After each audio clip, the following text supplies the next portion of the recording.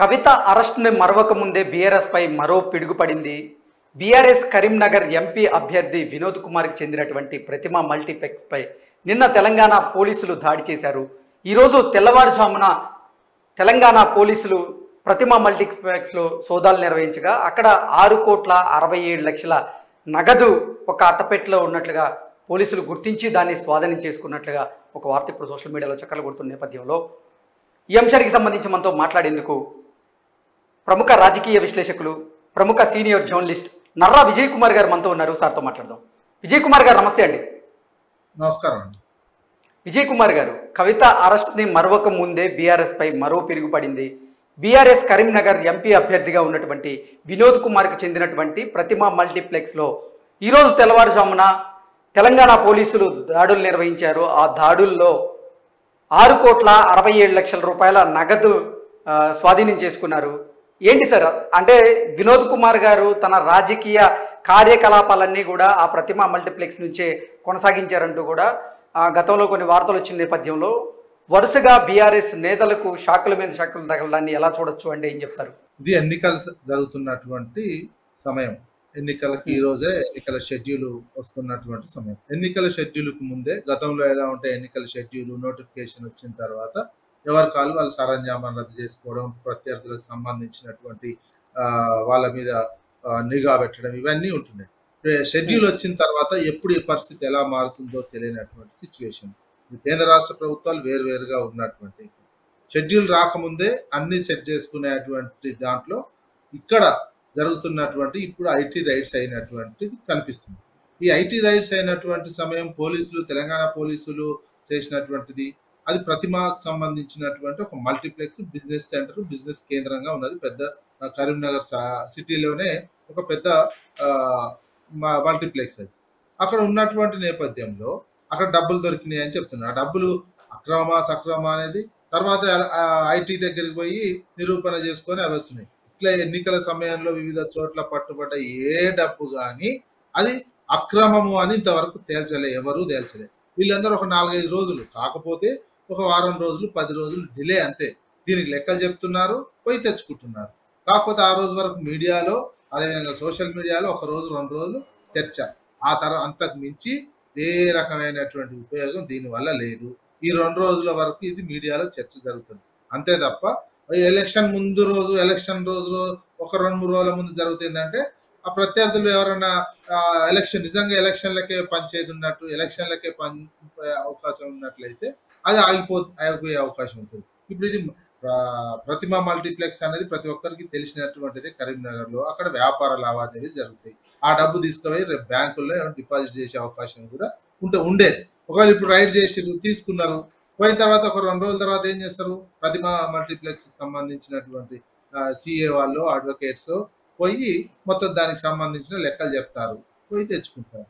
ఇంతకంటే మించి జరిగేది ఏం లేదు. దీనికి ఆ పార్టీకి శాఖను ఆ వ్యక్తికి శాఖను అనేది ఒక మీడియాలో రెండు రోజుల ముందు రెండు రోజుల చర్చ ఒక రోజు చర్చ కోసం ఇట్లా హెడ్లైన్స్ పెట్టుకోవడానికి బ్రేకింగ్లు నడుపుకోవడానికి చర్చలు చేసుకోవడానికి మాత్రమే ఉపయోగపడుతుంది లేకపోతే ఈ భారతదేశంలో ఎలక్షన్ ఎట్లా నడుస్తుందో ప్రతి ఒక్కరికి తెలిసినటువంటిది. అధికారంలో ఉన్నటువంటి వాళ్ళు ఒక తీరుగా విపక్షంలో ఉన్నటువంటి వాళ్ళు మరో తీరుగా జరుగుతూనే ఉన్నటువంటి తంతు మనం చూస్తున్నటువంటి వ్యవహారము.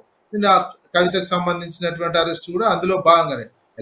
అదేంది ఒక కక్ష సాధింపు చే ఒక రా ముందే రాజకీయ ప్రేరేపితమైనది. రాజకీయ ప్రేరేపితమైనది ఏంది? ప్రధానమంత్రి ఇక్కడ అడుగు పెట్టే సమయానికి హైదరాబాద్లో అడుగు పెట్టే సమయానికి గతంలో బీజేపీ నాయకులు స్టేట్మెంట్ ఇచ్చారు మేము అరెస్ట్ చేస్తాం చేస్తాం అని చెప్పారు. ఐదు గంటల ఇరవై నిమిషాలకు ఆయన అడుగు పెట్టాడు. ఐదు గంటల ఇరవై నిమిషాలకు కవితను అరెస్ట్ అన్నట్టు అరెస్ట్ వారెంట్లో చూపించడం జరిగింది. ఇవన్నీ ఒక రాజకీయంగా భారతదేశంలో ఓ రాజకీయ కక్ష సాధింపు చర్యలు ఎలా ఉంటాయి అనేది బీజేపీ చూపిస్తుంది. బీజేపీతో పాటు ఇక్కడ ఉన్నటువంటి కాంగ్రెస్ గవర్నమెంట్ సంబంధించిన ఎగ్జాక్ట్లీ అంటే వినోద్ కుమార్ కూడా తన మీద ఐటీ దాడులు చేయడాన్ని నిరసిస్తూ ఆయన ఇది బీజేపీ అలాగే కాంగ్రెస్ కుట్రే మోదీ గారు అలాగే రేవంత్ రెడ్డి గారు కలిసి ఆడుతున్నటువంటి నాటకమే ఇదంతా అంటూ కూడా ఆయన కొన్ని కమెంట్స్ చేయడం జరిగింది. అంటే నిజంగా ఇక్కడ తెలంగాణ సర్కార్ ఇప్పుడు బీఆర్ఎస్ నేతలను టార్గెట్ చేసిందా? అందులో భాగంగానే ఈ పోలీసుల సోదాలు నిర్వహించారా అంటే ఏం చెప్తారు? అది వాస్తవం కనిపిస్తుంది కదా. ఇప్పుడు ఇక్కడ కనిపించేది ఏంది అధికారంలో ఉన్నటువంటి రెండు పార్టీలు ఎలక్షన్. వీళ్ళకేంది ఇక్కడ ఒక ప్రాంతీయ ఆకాంక్షలతో ఉన్నటువంటి ఒక బీఆర్ఎస్ పార్టీని ప్రాంతీయ పార్టీని మొత్తం ఏమి లేకుండా చేయాలి అనేటువంటిది రెండు జాతీయ పార్టీలు పెట్టుకున్న లక్ష్యం. ఒక ప్రాంతీయ పార్టీ ఎక్కడైతే బలంగా ఉంటుందో అక్కడే జాతీయ పార్టీలు రాజకీయంగా ఎదుగుదల లేకుండా పోతుంది. బీజేపీని దేశవ్యాప్తంగా కూడా నిలువరిస్తున్న పార్టీలు ఏమైనా జాతీయ పార్టీ కాంగ్రెస్ కంటే కూడా ప్రాంతీయ పార్టీలే నిరోధిస్తుంది. అదేవిధంగా కాంగ్రెస్ కూడా ప్రాంతీయ పార్టీలే అనేక చోట్ల అడ్డుకుంటున్నటువంటి సిచ్యువేషన్ దాదాపు ఎక్కడ కాంగ్రెస్ పార్టీ డైరెక్ట్ ఫైట్ ఇచ్చేటువంటి సిచ్యువేషన్ అనేక చోట్ల లేనటువంటిది. ప్రాంతీయ పార్టీలు ఉన్న చోట కొన్ని ప్రాంతీయ పార్టీలతోటి కాంగ్రెస్ పార్టీ పొత్తు పెట్టుకుంటున్నటువంటి సిచ్యువేషన్ ఎక్కడ వాళ్ళ అవసరం. మిగతా ప్రాంతీయ పార్టీలే మే- ప్రధానంగా బీజేపీ తోటి ఫైట్లో ముఖాముఖి ఉన్నాయి. మ్యాక్సిమం ఐదు వందల నలభై ఐదు సీట్లు ఉంటే మొత్తం నూట ఎనభై నూట తొంభై సీట్లలో మాత్రమే కాంగ్రెస్ పార్టీ డైరెక్ట్ ఫైట్ ఉన్నటువంటిది బీజేపీతో మిగతా చోట్ల అన్ని ప్రాంతీయ పార్టీలే బీజేపీ తోటి ఫైట్ జరుగుతున్నాయి. ఆ ప్రాంతీయ పార్టీలతోటి కొన్ని చోట్ల కాంగ్రెస్ పార్టీ ఒత్తులు పెట్టుకుంటుంది. కొన్ని చోట్ల కాంగ్రెస్ పార్టీ ప్రాంతీయ పార్టీ ఇప్పుడు తెలంగాణ లాంటి చోట్ల కాంగ్రెస్ పార్టీ ప్రధాన ప్రత్యర్థి ప్రాంతీయ పార్టీగా ఉన్నటువంటి బీఆర్ఎస్ దే ఏ ఉన్నది. అందుకే ప్రాంతీయ పార్టీలు ఒక అస్తిత్వానికి ప్రతీకగా ఉంటున్నాయి భారతదేశంలో. ఈ అస్తిత్వానికి ప్రతీకగా ఉన్నటువంటి పార్టీలు ఉన్నన్ని రోజులు మా మా చెల్లుబాటు కాదు మా మాట చెల్లుబాటు కాదు మేము ఆధిపత్యం చెలాయించలేము ఆ రాష్ట్రం మీద అనేది ఈ జాతీయ పార్టీలకు ఉన్నటువంటి. జాతీయ పార్టీలు ఎంతసేపు తమ వ్యక్తుల స్వార్థం తమకు ఉన్నటువంటి పెట్టుబడిదారులు ఎవరైతే సహకరిస్తున్నారో అదాని అంబానీ లాంటి వాళ్ళకు అటువంటి బడా పెట్టుబడిదారులకే ఈ జాతీయ పార్టీలు కొమ్ము కాస్తున్నటువంటి ఉన్నాయి. ఎక్కడైతే ప్రాంత ముఖ్యంగా సౌత్లో ప్రాంతీయ పార్టీలు. ఎక్కువగా పరిపాలించినటువంటి సౌత్ నే భారతదేశంలో అభివృద్ధి చెందిన రాష్ట్రాలుగా ఉన్నాయి. భారతదేశ జీడిపిలో కూడా ఒక కీలకమైనటువంటి భాగస్వామ్యము సౌత్ ఇండియా పార్టీ సౌత్ ఇండియానే ఉంది. ఈ సౌత్ ఇండియాని ఎక్కువగా పరిపాలించింది ప్రాంతీయ పార్టీలు. ప్రాంతీయ పార్టీలు ప్రాంతీయ ఆకాంక్షలు ప్రాంతీయ ప్రజల అభివృద్ధిని ప్రధానంగా దృష్టి కేంద్రీకరిస్తాయి. జాతీయ పార్టీ ఎంతసేపటికి వాళ్ళు ఉన్నటువంటి ఎక్కడెక్కడైతే ఆదాయం వస్తున్నటువంటి రాష్ట్రాల నుంచి డబ్బులు తీసుకొని తన సపోర్ట్ చేస్తున్నటువంటి బడా పెట్టుబడిదారులకు వ్యాపారస్తులకు కట్టబెట్టే అది జాతీయ పార్టీలు చేస్తుంది అందుకే ఇక్కడ తెలంగాణలో ఈ ప్రాంతీయ పార్టీ అస్తిత్వాన్ని పూర్తిగా దెబ్బతీయాలి. అనే టార్గెట్ ఈ ఎలక్షన్ లక్ష్యం కనిపిస్తుంది. సార్ కాంగ్రెస్ లోక్సభ ఎన్నికల్లోకి ఈ రోజు షెడ్యూల్ రాబోతున్న నేపథ్యంలో బీఆర్ఎస్ పార్టీ ఇటు కాంగ్రెస్ పార్టీ అలాగే భారతీయ జనతా పార్టీ మధ్య నలిగిపోబోతోంది అంటూ కూడా కొన్ని వార్తలు వస్తున్నాయి. అలాగే కేవలం వినోద్ కుమార్ మీదే ఐటీ దాడులు కాదు మరికొంతమంది బీఆర్ఎస్ నేతల మీద కూడా ఐటీ దాడులు జరగబోతున్నాయి అంటూ కూడా ఒక వార్త ఇప్పుడు బయటకు వస్తున్న నేపథ్యంలో. ఏంటి సార్ నిజంగానే బీఆర్ఎస్కి సంబంధించినటువంటి మరికొంతమంది నాయకుల మీద కూడా ఐటీ దాడులు జరగబోతున్నాయా అంటే ఏం చెప్తారు? హండ్రెడ్ పర్సెంట్ జరుగుతాయి. ఇక్కడ ఇక్కడ ప్రధానంగా call target BRS party BRS నాయకులు. ఎందుకు బీఆర్ అదే చెప్తున్నా. ప్రాంతీయ ఆకాంక్షలు ప్రాంతీయ అస్తిత్వానికి ప్రతీకలుగా ఉంటున్నటువంటి పార్టీ బీఆర్ఎస్. ఆ బీఆర్ఎస్ని నామరూపాలు లేకుండా చేయాలి. ఇక్కడ అస్తిత్వాన్ని దెబ్బతీయాలి. మేము పెత్తనం చేయాలి. పెత్తనం చేయాలంటే ఏం చేయాలి? ఇక్కడ స్ట్రాంగ్గా ఉన్నటువంటి బీఆర్ఎస్ పార్టీని బీఆర్ఎస్ పార్టీకి సపోర్ట్ చేస్తున్నటువంటి నాయకులు కావచ్చు కార్యకర్తలు కావచ్చు ప్రజలు కావచ్చు ఎవరైనా వాళ్ళకి గట్టిగా సపోర్ట్ చేస్తున్నటువంటి వాళ్ళే అనేక అంశాలు. ఒకటి బెదిరించడం లొంగ తీసుకోవడం ఇవి బెదిరించినా లొంగకపోతే దాడులు చేయడం అరెస్టులు చేయడం ఇది ఒక యుద్ధంలో భాగంగా యుద్ధ తంత్రంలో ఎలక్షన్ యుద్ధ తంత్రంలో ఇది ఒక భాగం అయిపోయింది అవన్నీ ఈడీ ఐటీ ఎలక్షన్ కమిషన్ అన్ని కూడా ఏమైనాయి? మోడీకి ఆ యొక్క విభాగాలుగా ఆ బీజేపీ పార్టీ విభాగాలుగా తయారైనాయి. దానికి ఇక్కడ ఉన్నటువంటి కాంగ్రెస్ పార్టీకి సంబంధించినటువంటి అధికార పార్టీ కూడా పూర్తిగా సహకరిస్తూ కనిపిస్తున్నది వాళ్ళకు ఉన్నటువంటి ఇప్పుడు లిక్కర్కి సం అదే విధంగా మళ్ళీ వీళ్ళు దాడులు చేస్తున్నటువంటి. ఇక్కడ బీజేపీది ద్వంద్వ వైఖరి కనిపిస్తుంటది. కాంగ్రెస్ ది ద్వంద్వ వైఖరి కనిపిస్తున్నటువంటి. ఎవరైతే ఇట్లాంటి ఐటీ ఈడీకి సంబంధించిన కేసులు వాళ్ళు బీజేపీలో చేరితే వాళ్ళ మీద ఎలాంటి. దాడులు ఉండట్లేవు ఎలాంటి నోటీసులు ఉండట్లేవు. ఎగ్జాక్ట్లీ విజయ్ కుమార్ గారు రానున్నటువంటి లోక్సభ ఎన్నికల్లో గనక నిజంగా ఇప్పుడు బీఆర్ఎస్ నేతల మీద వరుస దాడులు జరుగుతూ ఉంటే అంటే ఐటీ దాడులు జరుగుతూ ఉంటే ఆ బీఆర్ఎస్ నేతలు భయపడి ఇటు కాంగ్రెస్ వైపో లేదా ఇటు భారతీయ జనతా పార్టీ వైపు చూసే అవకాశం ఉంది. ఆ ఉద్దేశంతోనే ఆ వ్యూహంతోనే ఈ ఐటీ దాడులు జరుగుతున్నాయంటూ కూడా కొన్ని వార్తలు వస్తున్న నేపథ్యంలో. ఏంటి నిజంగా బీఆర్ఎస్ నేతలు భయపడే పరిస్థితి ఉందా? భయపడి అటు కాంగ్రెస్కి కానీ ఇటు భారతీయ జనతా పార్టీకి కానీ వెళ్ళే అవకాశం ఉందా? అంటే ఏం చెప్తారు? ఇప్పటికే జరిగినాయి. అట్లా రాజకీయాల్లో నిజంగా రాజకీయ ఇంట్రెస్ట్ ఉన్నోళ్ళు రాజకీయానికి సంబంధించినటువంటి వాళ్ళే ఉంటే ఎలా భయపడే అవకాశం ఉండదు కొట్లాడతారు అది చేస్తారు. ఇంకా కొంతమంది వ్యాపారస్తులు ఎవరైనా రాజకీయాల్లోకి వచ్చి ఉన్నటువంటి వాళ్ళైతే వాళ్ళు భయపడతారా? పోయేటోళ్ళు. ఇప్పటికే పోయే వాళ్ళు పోయారు రాజీ పడే వాళ్ళు రాజీ పడ్డారు కనిపిస్తూనే ఉన్నది. అంటే.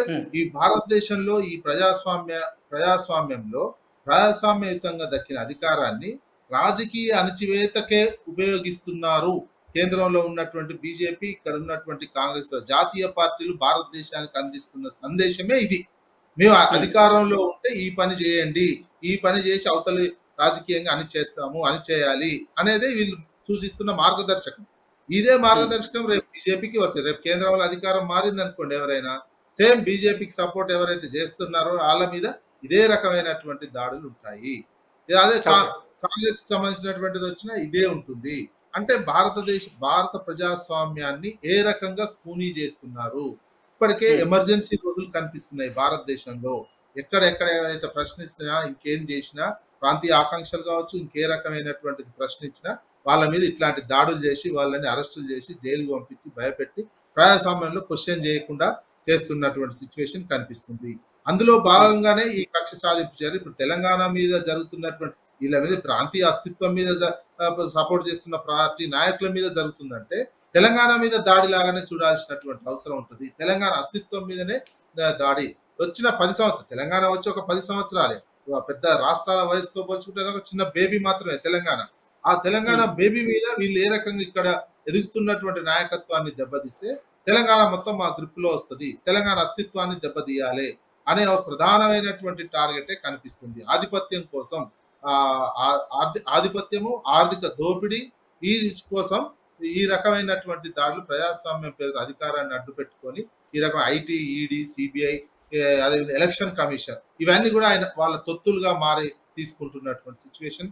కనిపిస్తుంది. ఇంకొక ఇంకొక న్యాయ వ్యవస్థ ఉన్నది. ఈసారి న్యాయ వ్యవస్థ కూడా అధికారంలోకి మూడు వందల సీట్లు వస్తాయని టార్గెట్ పెట్టుకుంటున్నటువంటి బీజేపీ వస్తే నెక్స్ట్ న్యాయ వ్యవస్థ కూడా ఏమైతుందో తెలియలేనటువంటి సిచ్యువేషన్ భారతదేశంలో ఒక రకమైనటువంటి చర్చ మొదలైంది. భారతదేశ ప్రజాస్ నిజంగా ప్రజాస్వామిక వాదులందరికీ కూడా ఇది ఒక హెచ్చరిక లాంటిదే.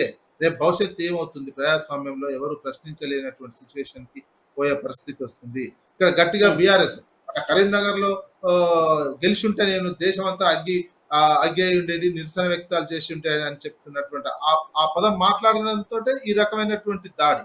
ఒక హెచ్చరిక చేసిన ఒక గట్టిగా ప్రశ్నించిన ఉన్న వాళ్ళు ఎవరైనా ఉంటే భారతదేశంలో ఈ రకమైన పరిస్థితి ఉంటుంది అనేది కనిపిస్తుంది. మోడీ అనుసరిస్తున్నటువంటి విధానం ఆ రకమైన ఇప్పుడు ఆంధ్రప్రదేశ్లో కూడా చంద్రబాబు నాయుడుని అలా బెదిరించే తీసుకున్నట్టు కనిపిస్తుంది. మొన్నటి వరకు చంద్రబాబు నాయుడు మొత్తం బీజేపీ ఫైట్ బీజేపీ ఇష్టం ఉన్నట్టు తిట్టినటువంటి చంద్రబాబు నాయుడు. ఇప్పుడు ఎందుకు Hmm. వెంటనే బీజేపీ తోటి అయిపోయిండు. అంత భయపడి ఏం బలం లేని వాళ్ళకు కూడా ఆరు సీట్లు ఇచ్చే పరిస్థితి. ఏం బలం లేని వాళ్ళకు పది సీట్లు ఇచ్చే పరిస్థితి. ఈ రక దేశవ్యాప్తంగా ఇట్లా ఒక అప్రజాస్వామికమైనటువంటి వాతావరణం క్రియేట్ చేసి భయోత్పాతాన్ని క్రియేట్ చేసి భారత ప్రజాస్వామ్య వ్యవస్థను నాశనం చేసే పని బీజేపీ పెట్టుకుంది. ఆ బీజేపీకి అంటగా అవుతున్న బీజేపీకి ఇన్సైడ్గా ఇక మన తెలంగాణ లాంటి చోట్లనైతే ఇన్సైడ్గా ఇక్కడ ప్రభుత్వ అధినేతలే సంబంధించి బీజేపీకి వైపు సిద్ధాంతపరంగా దేశవ్యాప్తంగా ఫైట్ చేస్తున్నామని చెప్తున్న కాంగ్రెస్ పార్టీ. తెలంగాణ వరకు వచ్చేసరికి ఇక్కడ ఉన్నటువంటి ప్రభుత్వ అధినేతే బీజేపీకి ఇన్సైడ్గా సహకారం చేస్తున్నట్టు కనిపిస్తుంది. Okay. Okay sir. Thank you so much అండి.